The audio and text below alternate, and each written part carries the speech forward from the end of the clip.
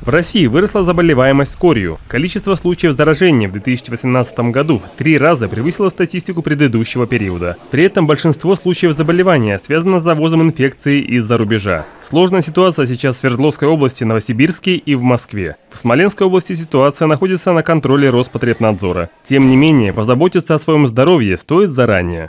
Рискуют заболеть этим заболеванием э, люди, которые не были привиты от кори никогда, не болевшие корью, или даже те, кто привит однократно от кори.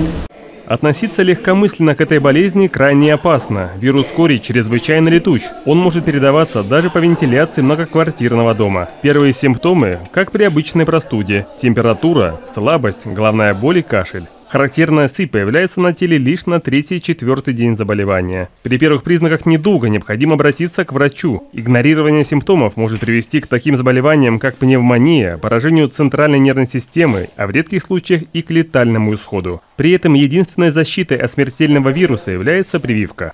Основная профилактика, эффективная и безопасная – это вакцина-профилактика. По нацкалендарю профилактических прививок следует прививать людей, которые не болели корью, не были привиты никогда, привиты однократно, или если мы видим, что в медицинской документации вообще отсутствуют сведения от кори.